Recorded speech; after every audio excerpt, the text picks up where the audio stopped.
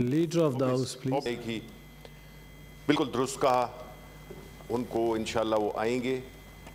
ابھی بھی میں نے جو پرائم پریس کانفرنس کی ہے تو وہ بالکل یہاں پہ بھی آ کے اور بیان دینا چاہیے ان کو پوزیشن کلیریفائی ہونی چاہیے۔ دوسری بات ہے کہ جہاں تک کہ فائننس منسٹر صاحب کا تعلق ہے چاہے وہ ٹیکنوکریٹ ہیں یا نان ٹیکنوکریٹ ہیں وہ الگ بات ہے کہ وہ آپ کی حکومت میں بھی فائننس منسٹر تھے۔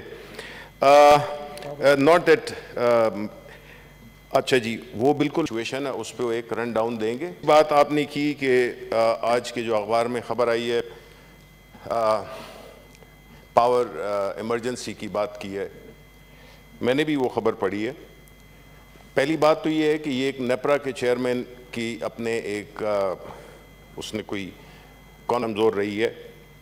اور یہی وجہ ہے کہ اس کی میں آپ کو ایک تھوڑا سا جلدی سے میں آپ کو اس کا بیک گراؤنڈ ضرور دوں گا because yes this is the most important problem that this country is facing and that is the circular debt آپ کو معلوم ہوگا کہ اس پہ میں نے کام بھی کیا، میرے ساتھ کمیٹی بھی تھی اور مسلسل ہم کرتے آ رہے ہیں، ابھی تک ابھی پاور اس منسٹری میں۔ دیکھیں سر، بات یہ ہے کہ جو ماضی میں جو ہمارے کانٹریکٹس ہوئے تھے، آپ کو پتہ ہے کہ وہ سارے غلط کانٹریکٹ تھے، اس سے پاکستان کے مستقبل کے بارے میں نہیں سوچا گیا، بلکہ اس وقت کی جو کمپیلنگ سچویشنز تھی، اس کو منظر رکھتے ہوئے کہ فورن انویسٹمنٹ نہیں آ رہی۔ تو ہم جو ہے تو ایسے کانٹریکٹس کریں جس سے کہ ہماری آئندہ نسلیں پے کرتی رہیں۔ اب وہ معاہدے ایسے تھے کہ جس میں آپ کی کیپیسٹی پیمنٹس کی جو آپ کو دینے ہیں مطلب یہ کہنا تو بڑا آسان ہے کہ جی ہم نے دس ہوئے اور جس طرح سے ماضی میں یہ ماضی کی حکومتوں میں میں اس کو برائے وہ نہیں، میں اس کو ایکسپلین کرتا ہوں کہ میں کہ جو انرجی کی پرائسز جب بڑھنی چاہیے تھی، وہ انہوں نے بڑھائی نہیں۔ پولیٹیکل کاسٹ کوئی گورنمنٹ پے نہیں کرنا چاہتی تھی۔ بیکاز ہر ایک چاہتا تھا کہ جی وہ ہم تو عوام دوست، وہ حالانکہ ملک دشمن ضرور ہوں، لیکن عوام دوست کے ذریعے ان کو امپلائی کیا گیا۔ نتیجتاً کیا ہوا؟ کہ وہ جو چیز، جو جو قرضے تھے، جو کہ ہم پوسپون کرتے رہے، وہ جو پرائس کی اسکلیشن تھی، وہ ہم نہیں کرتے رہے بیکاز اس کے لیے ایک بڑی پولیٹیکل کاسٹ دینی پڑتی تھی۔ نتیجتاً کہ دو ہزار اٹھارہ میں جب ہم نے اپنی سٹڈی مکمل کی، اس وقت جو ہے، تو جو سرکولر ڈیٹ تھا، وہ one point two trillion rupees کا تھا۔ اب اب کافی بڑھ گیا ہے، اس میں کوئی شک نہیں ہے۔ لیکن یہ کیوں بڑا ہے؟ اس کی وجہ یہی تھی کہ جو پرائسنگ تھی وہ اس کو اس وقت کی حکومتیں بلٹ ان نہیں کرتی رہیں تو ہمیں وہ سارا جو ایک بیک لاگ تھا اس کو وہ کرنا تھا بیکاز اگر وہ ہم نہ کرتے اور ہم نے پرائسز بڑھائی بھی پولیٹیکل کاسٹ تھی ہم نے، جو کہ کوئی پولیٹیکل گورنمنٹ نہیں کرتی ہے، لیکن ہم نے یہ قربانی دی اس لیے کہ ملک کے لیے کہ ہماری پولیٹیکل کاسٹ uh, بے شک ہو، لیکن اس کی کوئی ملک پہ کوئی اس پہ آنچ نہ آئے، جس کی وجہ سے ہم نے پرائسز بھی بڑھائیں، بڑی ہم پہ کرٹیسزم بھی ہوا۔ ہونا بھی چاہیے تھا، لیکن اس کا میں آپ کو بیک گراؤنڈ اس لیے دے رہا ہوں کہ یہ ایک ایسا مسئلہ ہے جو کہ ہمارا پیدا کردہ نہیں ہے۔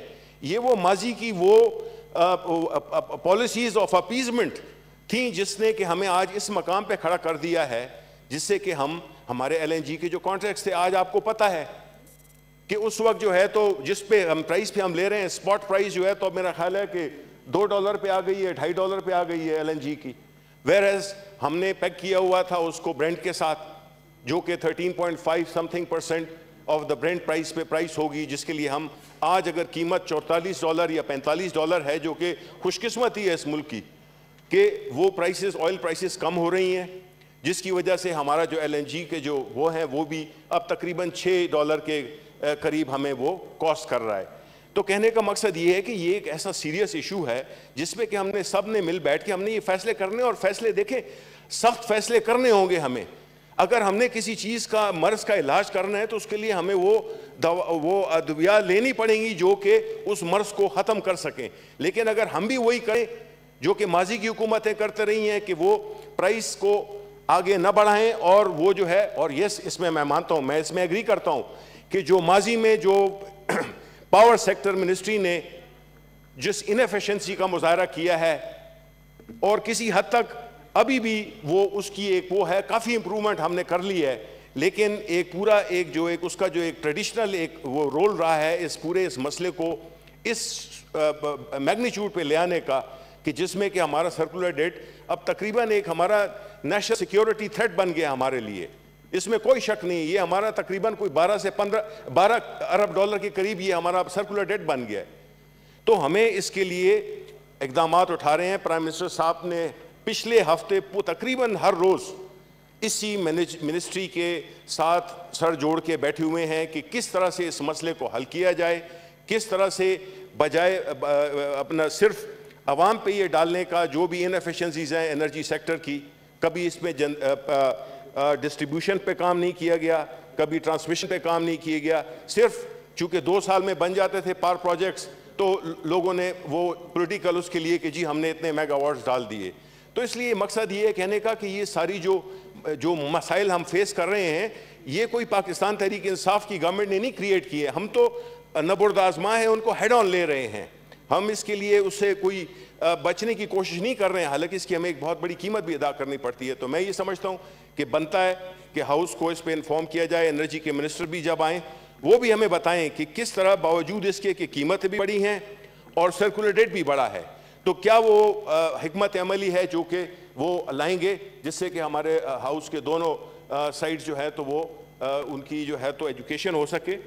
اور لاسٹ چیز یہ ہے کہ پرائم منسٹر از دا مین جو کہ اس گورنمنٹ کو رن کر رہے ہیں وہی رن کر رہے ہیں وہی رن کر رہے تھے اور انشاءاللہ وہی کریں گے بہت شکریہ Order number two, commenced motion. We may now take up order number two regarding further discussion on the motion moved by Senator Raja Muhammad Zafrullah, leader of the opposition and others on 28 February 2020.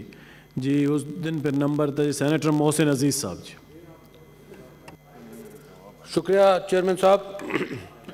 اس میں کوئی شک نہیں ہے کہ opposition کا یہ حق ہے کہ ریکوزیشن کریں۔ لیڈر آف دا اپوزیشن جی۔ ایک سیکنڈ محسن صاحب جی۔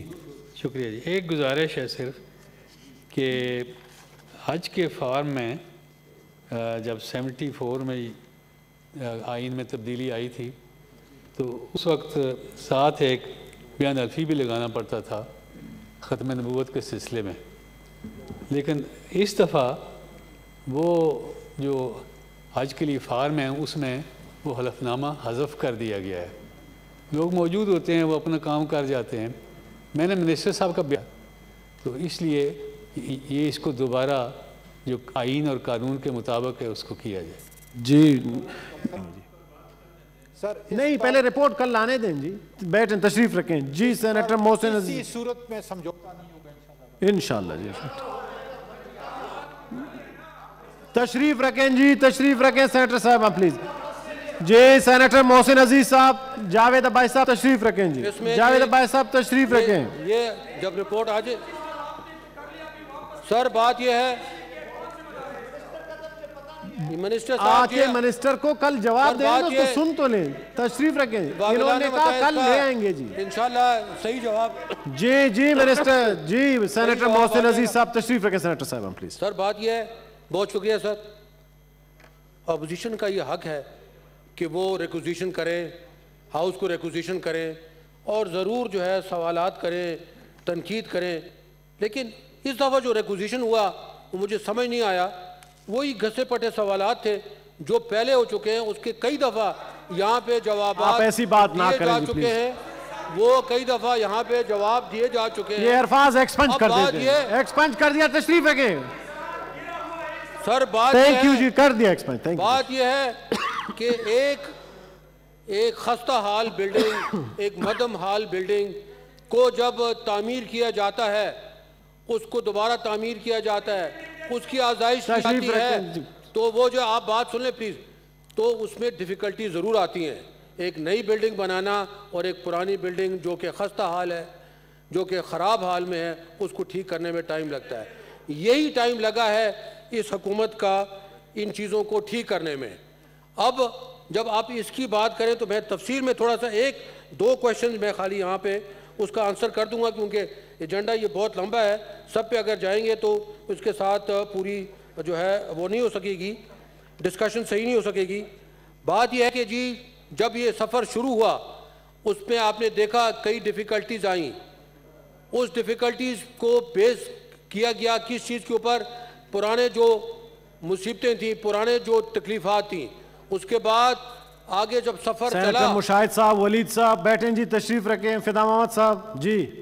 سفر چلا